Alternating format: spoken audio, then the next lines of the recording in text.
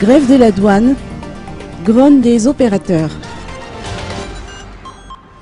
Suite à l'annonce de la grève illimitée du syndicat des employés des douanes, le GEM, le CIM, le GEFP et le FIFPAMA lancent un appel au gouvernement, à l'administration douanière et au syndicat des employés des douanes pour le règlement urgent du conflit afin que les opérations d'importation et d'exportation puissent reprendre. En effet, ces trois entités devront se rendre à l'évidence la fermeture des bureaux de douane a des impacts négatifs euh, sur les activités des entreprises locales, notamment en matière d'importation et en matière d'exportation. Cette grève, dont la durée reste inconnue, ne fait qu'empirer la faible compétitivité des entreprises locales.